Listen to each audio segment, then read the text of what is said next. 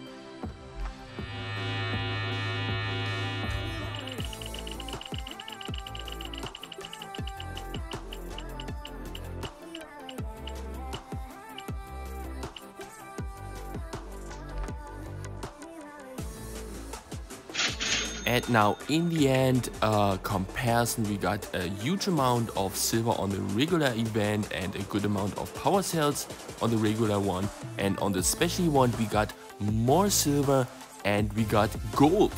So the tip from me is, yeah, wait till there will be a special event and then get your prizes because of more super chests abilities. Let's go, have a wonderful weekend. We will see you soon. Bye bye and good luck.